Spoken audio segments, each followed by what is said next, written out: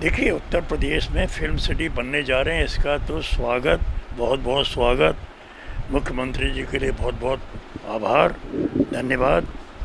और, लेकिन एक अनुभव है, ये अनुभव है कि सन पचानवे में तत्कालीन मुख्यमंत्री, मुलायम सिंह ने भी फ़िल्म सिटी बनाई नोएडा में। मेरा मानना यह है कि ये फ़िल्म सिटी उस वक्त बनी थी, लेकिन जिन लोगों ने जो बॉम्बे से कलाकार यहाँ पर आए, मुंबई से, उन लोगों ने सबको ज़मीनें ली, सस्ते रेट पर ज़मीनें मिली, लेकिन अब सबके सब लगभग 80 परसेंट वो ज़मीनें बिक के जितने इलेक्ट्रॉनिक मीडिया के बड़े बड़े ऑफ़िस हैं, चाहे वो आज तक है, कोई भी ऑफ़िस आज तक भी है उसमें, उन सबने ज़मीनें खरीद ली और वहाँ पर उनके बड़े बड़े कार्यालय हैं। तो इसका भविष्य जो है हमारा ये होना चाहिए कि हम सख्ती से, ईमानदारी से और कहना चाहिए जो मेहनत कश जो कर्मी हैं, चाहे वो मीडिया कर्मी ही क्यों नहीं है, चाहे वो एक फ़िल्म के इंडस्ट्री से जुड़े हुए क्यों ना हो फ़िल्म इंडस्ट्री नहीं, इसके अलावा अगर वो जो है कहना चाहिए कि आप दूरदर्शन और टीवी से, आकाशवाणी से जुड़े हुए जितना भी कर्मी है, जिसको हम संस्कृत कर्मी कहते हैं, उसको निश्चित रूप से रोज़गार मिलेगा, बहुत बड़ा रोज़गार मिलेगा। और सबसे बड़ा जो फ़ायदा होगा, जो गरीब आदमी हैं, जिसके कोई पूछने वाला ही नहीं, जिससे कोई बात ही नहीं करता है। चाहे वो आप जैसे मीडिया के लोग हों, चाहे बड़े मीडिया के लोग हों, उनकी वक़्त क्या है? बॉम्बे में जाके एक महीने, दो महीने छः महीने में सारी पूंजी अपनी गंवा देते हैं। कमाने के बाद मिलता उन्हें कुछ भी नहीं है एक पैसा उन्हें नहीं मिलता है। और वही ये उम्मीद के साथ लगे रहते हैं कि शायद हमें कोई जॉब मिलेगा। मिला भी तो कोई एक्स्ट्रा में जॉब मिलता है। अब देखिए, एक रीजनलिज्म हावी है, क्षेत्रीयता हावी है बॉसिज्म हावी है।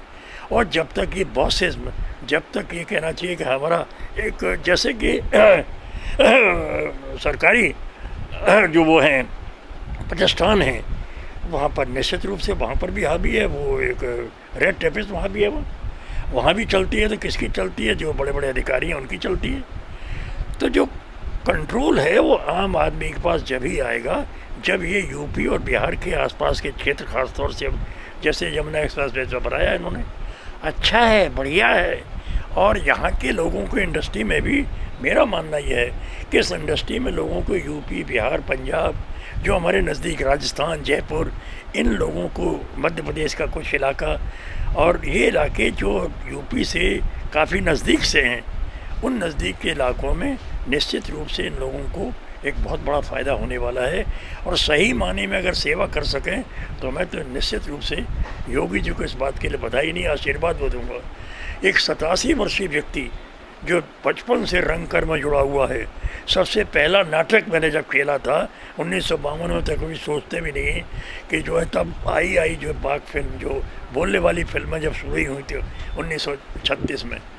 तब से अब हम लोगों ने जो संघर्ष किया, ज़्यादातर जो हमारा कलाकार था वो मुंबई की ओर भागा। कोशिश करें, कर रहे हैं, प्रयास कर रहे हैं। केवल मेरा मानना से केवल एक ही बात मैं कहना चाहूँगा आपकी मीडिया के माध्यम से टी के माध्यम से, कि वो इस बात को प्रेशराइज किया जाए कि जितने भी हैं इंडस्ट्रियलिस्ट हैं, जो बड़े बड़े उद्योगपति हैं, जो बड़े बड़े पूंजीपति हैं, उनको यूपी और आसपास के क्षेत्रों से ही बुला के इस ज़मीनों को दिया जाए और सारी सुविधाएँ उपलब्ध कराई जाए उन्हें। इलेक्ट मतलब जहाँ पर ज़मीन सस्ती हो, वहीं पर इलेक्ट्रिसिटी, उनके निर्माण की तमाम चीज़ों को निःशुल्क नहीं तो कम से कम कम से कम कीमत पर देनी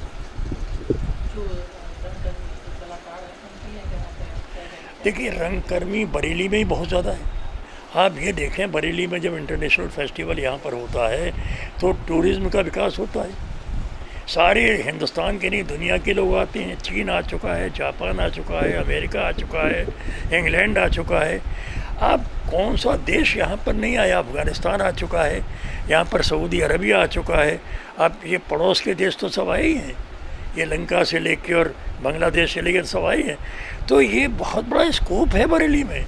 लेकिन सही माने में मैंने कहा ना, बहुत खुशी की बात है। लेकिन ये ख्वाब पहले की तरह होके ना रह जाए। बहुत कलाकार हैं। यहीं पर कलाकारों की संख्या जो है कम से कम नहीं होगी। कलाकार 2000 कलाकार जो स्ट्रीट पर काम करता है, वो जो नुक्कड़ नाटकों में काम करता है, वो छोटे छोटे नाटक करता है, लेकिन उनको सुविधाएँ कहाँ हैं?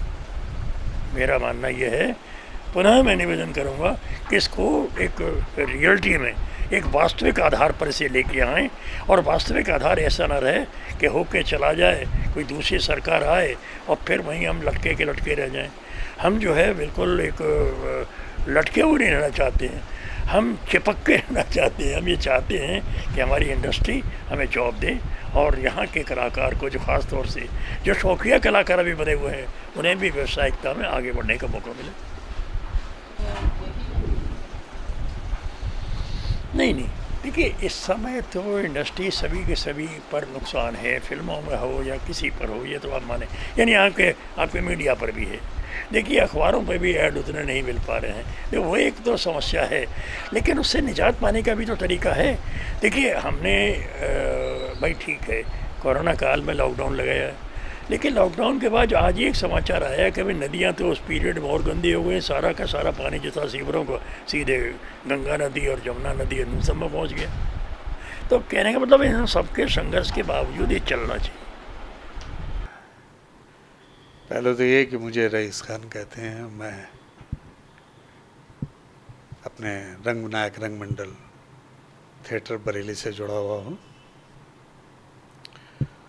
वैसे तो ये अच्छी चीज़ है बरेली वालों के लिए क्या पूरे यूपी और यूपी के बाहर भी जो और प्रदेश हैं आसपास के, कि उनको अच्छा एक मौका मिलेगा अच्छा प्लेटफॉर्म मिलेगा। और गवर्नमेंट को एक फ़िल्मों के ज़रिए बहुत अच्छा निवेश मिलेगा, जैसे कि प्रदेश का विकास होगा। कुल मिला के बहुत अच्छी योजना है और ये पूरी तरह से क्रियान्वित भी होनी चाहिए। देखिए, क्योंकि पिछला कुछ ऐसे एक्सपीरियंस रहे हैं कि बड़ी बड़ी योजनाएँ आ गई बड़े बड़े काम घोषित कर दिए गए, लेकिन वो पूरी तरह से अपने मकाम पे नहीं पहुँचे। कभी कभी वो खाली क्या कहना चाहिए कि राजनीतिक जुमला होकर रह जाती हैं वो चीज़ें। लेकिन खैर, मुझे लग रहा है इस बार तो ये जो स्टेप गवर्नमेंट उठा रही है और जल्दी उठा रही है, जल्दी कर भी रही है उसमें तो ये बहुत अच्छी बात है। लेकिन इसके साथ साथ ये भी देखना है कि वो तो ठीक है, चलिए फ़िल्म इंडस्ट्री बन रही है, आपके फ़िल्म सिटी बन रही है, निवेश भी आएगा, और जो कलाकार हैं, उनको मौके मिलेंगे। लेकिन अभी देश, प्रदेश के अंदर इतनी बेरोज़गारी है, इतनी सारी चीज़ें हैं हमें उन पर भी फोकस करना चाहिए।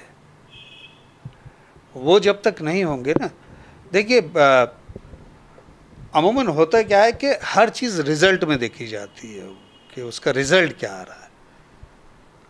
अब आपने फ़िल्म सिटी बना ली लेकिन उसको देखने वाले के जेब में पैसा भी तो होना चाहिए एटलीस्ट जब देखने वाला ही बेरोज़गार होगा तो वहाँ कैसे रोज़गार पनप सकता है?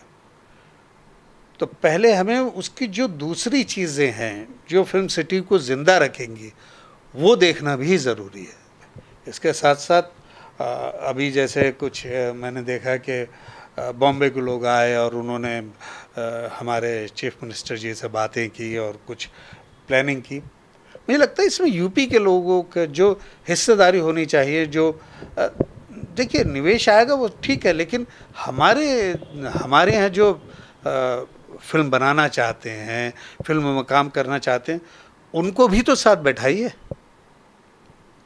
ठीक है ना? पता लगेगा, जैसे अभी भी पिछले टाइम में देखा कि सब्सिडी मिल रही है तो सब बम्बई के फ़िल्म बनाने वाले वो सब्सिडी उठा के ले गए। यहाँ पे बनाने वालों को पता नहीं कितनी मिली होगी, मुझे नहीं मालूम।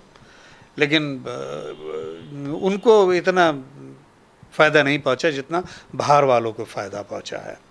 तो ये सारी प्लानिंग बहुत ज़रूरी है कि उसके बरेली के कलाकार इसमें उन लोगों को बहुत ज़्यादा फ़ायदा पहुँचेगा? एक तो आजकल जैसे ये कोरोना का मसला चल रहा है तो उसकी वजह से बम्बई से जो भी कलाकार यहाँ से वहाँ रोज़ी रोटी की तलाश में भी गए थे, बहुत से तरह के काम हैं फ़िल्म सिटी में, एक्टिंग ही नहीं है। तो रंगकर्मियों के अलावा जो टेक्निकल हैंड वहाँ पर वर्क करते हैं, वो भी वापस आए हैं यहाँ पर काफ़ी। और उनके अलावा जो नए लोग हैं, जो यहाँ और जगहों पर थोड़ी फ़िल्में बना ही रहे हैं, थोड़ा बहुत कुछ इस लाइन में काम कर रहे हैं, उन सभी को इसके, इससे बहुत ज़्यादा फ़ायदा पहुँचेगा। रोज़गार के अवसर भी बढ़ेंगे और लोगों को एक्टिंग का तो यहाँ पर अच्छे, बहुत अच्छे कलाकार हैं। यहाँ तो नाटक का तो बराबर यहाँ पर चलते रहता है। इंटरनेशनल फेस्टिवल का तो मैं निदेशक हूँ। यहाँ तो हम लोग हर साल कराते हैं, विदेशी टीमें वगैरह सब आती हैं यहाँ पर। तो अच्छा स्कोप है। बिल्कुल, इसमें कोई शक नहीं है, क्योंकि और अगर आप राज्यों में देखें तो वहाँ पर बहुत अच्छे स्तर पर डेवलप है और वहाँ पर, वहाँ के स्थानीय कलाकारों को बहुत ज़्यादा इसका बेनिफिट मिला है। उत्तर प्रदेश एक ऐसा प्रदेश है, जिसकी बड़ी बदनसीबी अब तक रही है ये कि इतनी, इसकी आप देखेंगे तो 90 परसेंट लैंग्वेज जो जो है हिंदी, वो यूपी की भाषा है। और ख़ास तौर से हमारी बरेली की भाषा जो है, वो तो बिल्कुल फ़िल्मों के अंदर सेम डिट्टू वही होती है। तो यहाँ के लोगों को और जो प्रदेश है, यहाँ का, यहाँ की जो भी फ़िल्में बनेंगी, आप समझ लीजिए कि वो अच्छे स्तर की होंगी भाषा के हिसाब से। क्योंकि इसी भाषा में ही हिंदी भाषा जो है, जो बॉम्बे में बन रही है, और जो फ़िल्म सिटी यहाँ पर बनने जा रही है, जहाँ तक मुझको उसकी नॉलेज है तो चूँकि कोई भी चीज़ जब बनती है तो ज़ाहिर सी बात है, जो एडवांस टेक्नोलॉजी उस वक्त मौजूद होती है, वो उसमें लगती है, ज़ाहिर सी बात है। वो लगेगी लगेगी। तो हमको पूरी उम्मीद है जो डिजिटल और जिस तरह की ये सारी चीज़ें टेक्नोलॉजी इस वक्त उपलब्ध हैं, ज़ाहिर सी बात है वो लगेंगी। यहाँ और ऐसा हमें योगी जी की बातों से भी हमें बहुत उम्मीद जागी है। इससे पहले हमने तो काफ़ी साल से हम इसमें, हमारी संस्था पूरी सक्रिय है। तो हम लोग आदरणीय पालीवाल साहब हमारे हैं, जो राष्ट्रीय अध्यक्ष हैं इंटरनेशनल फेस्टिवल उनके उसमें हम कराते हैं। तो वो हम लोग काफ़ी मतलब मैं तो लखनऊ गया था तो पहले अखिलेश जी के मुख्यमंत्री थे तो उनके उसमें हमने ज्ञापन भी दिया था इस विषय में, क्योंकि हमको पता लगा था कि काफ़ी इसके ऊपर वर्क हो रहा है। तो हम भी ये पहुँचे थे अपनी संस्था की तरफ़ से थोड़ा सा अप्रोच करने के लिए कि हमारे भाई जो ज़िले के आर्टिस्ट हैं और आसपास के हैं, वो भी थोड़ा इसको चाहते हैं ऐसा।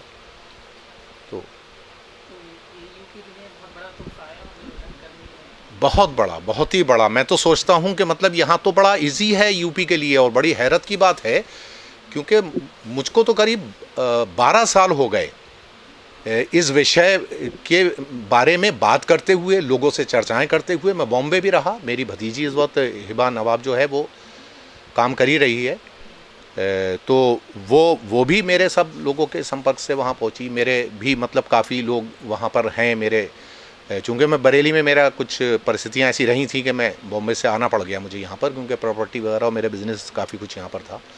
तो इस वजह से मुझे काफ़ी वहाँ से छोड़ना पड़ गया सब। तो वहाँ के मुकाबले पर जो यहाँ का माहौल है, वो तो बिल्कुल वही भाषा, वही चाल चलन वहीं की चीज़ें और लोकेशंस यहाँ कितनी अच्छी हैं। आप चाहे आगरा साइड चले जाइए, जहाँ ये एक्सप्रेस वे जो है, इस पर बन रहा है यमुना एक्सप्रेस वे के वहाँ पर। ग्रेटर नोएडा और ये सारा गौतम बुद्ध नगर। तो ये मथुरा भी वहाँ से करीब है, आपका वृंदावन और ये जो लोकेशंस हैं, सारी आप देखिए ऐतिहासिक। और वैसे भी यहाँ बरेली में भी काफ़ी अच्छी लोकेशंस हैं। यहाँ के पास पहाड़ी इलाके यहाँ पर कितने करीब हैं, नैनीताल वगैरह, ये सब। तो यहाँ के लिए तो बहुत ही इजी इजी और कलाकारों के लिए बड़ा इजी क्योंकि कलाकार यहाँ पर जो जिस तरह का माहौल है भाषा के हिसाब से तो वो तो वैसे ही हमारी प्रादेशिक भाषा का प्रयोग जो है इसके अंदर मैं समझता हूँ नाइन्टी परसेंट बॉम्बे के अंदर जो फ़िल्में हिंदी बनती हैं, हिंदी फ़िल्में, उन सब में यही प्रयोग है। भाषा का यूपी के अंदर तो इस वक्त आप समझिएगा कि हेमा जी भी यहाँ यूपी से ही हमारी संसद चुन के गई हैं। और फ़िल्म इंडस्ट्री के अंदर जितने भी अनुपम खेर हैं या जो यहाँ पर अभी परेश रावल जी भी इसमें इंटरेस्टेड हुए हैं जितने लोग जो इसके अंदर काम कर रहे हैं इसको बनाने के लिए इस वक्त यूपी में उनकी ख़ास दिलचस्पी है। नसुद्दीन शाह हैं मुजफ़र अली वगैरह, ये सब। तो जो जो लोग मतलब ये इस तरह के लोग हैं इंडस्ट्री के अंदर भी हैं और मुझे लगता है जो इसको बनाने की स्थिति में सरकार है। मेन तो सरकार का हाथ होता है। तो सरकार जो प्रयास कर रही है, मुझे लगता यह है कि हमारी भोजपुरी फ़िल्मों के भी स्टार इसके अंदर पिछले, उसमें काफ़ी उन्होंने इंटरेस्ट लिया था इसके अंदर।